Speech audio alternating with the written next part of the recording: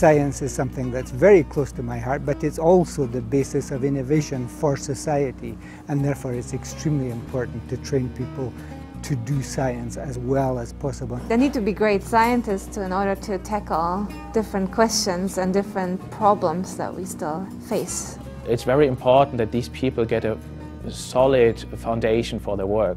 So that's, I think, where, where EMBL steps in with these courses and conferences.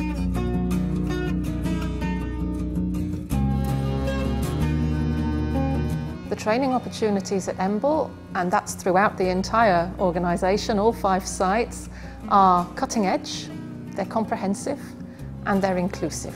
ATC training labs uh, are very well equipped. So there's not only labs for molecular biology, but also a cell culture lab and microscopy lab. Everything is state of the art, very modern, also flexible to configure. So it's really a fantastic facility, but at the same time it's anyway a hub of sciences, so people like to come here.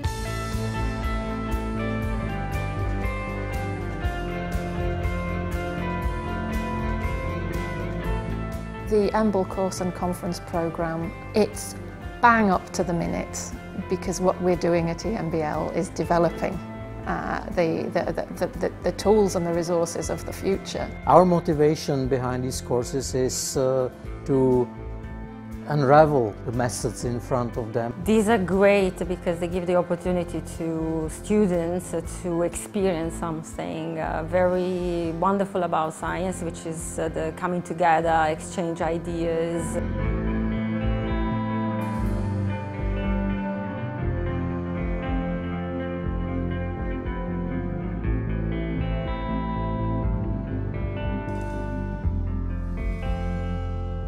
I think I will have a little bit more capability to um, look at my data, to investigate it, to better understand it, and maybe to help some of the other students in the lab to um, look at their data as well.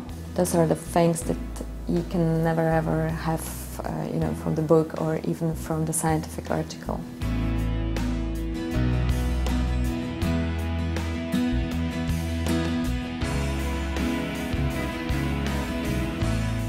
For a lot of the students and a lot of the postdocs, it's the first time that they come into an, a, a, meeting or, or atmosphere where they meet scientists from all over the world. It's always nice to see that at the beginning of the course there are 16 strangers and after a five-day course they made new friends and they made new collaborations with people they would never actually have met.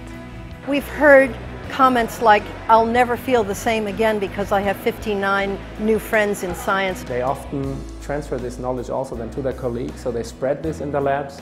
And of course, they start to internationally network, so I know from people that from two years ago, they still are in contact, which is a pretty cool thing. And sure, hope is when they return to their home labs, they use something of that. And feedback we are getting, it's recapitulating this hope. It's really something that, that will stay there for their entire life. It's an international uh, adventure for them.